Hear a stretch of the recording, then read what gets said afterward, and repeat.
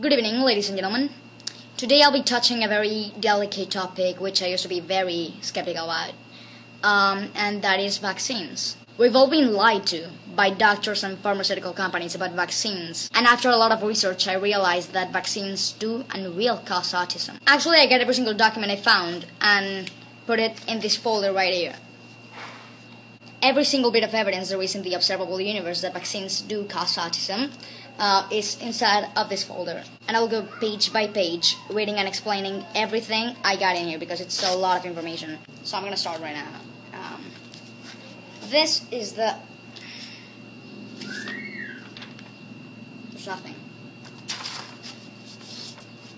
There's nothing.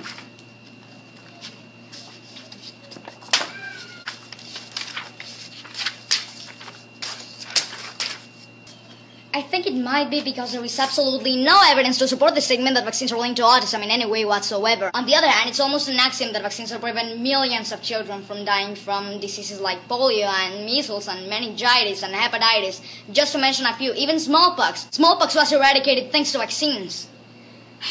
And you might think, well, it's my child, it's my choice. Okay, I agree. It's your choice if you don't expose your child to deadly diseases, but you know, it's not just your child. It's basically everyone else's child. It's also everyone else's child you're putting in danger because you read some forwarded email. So, please, vaccinate your children.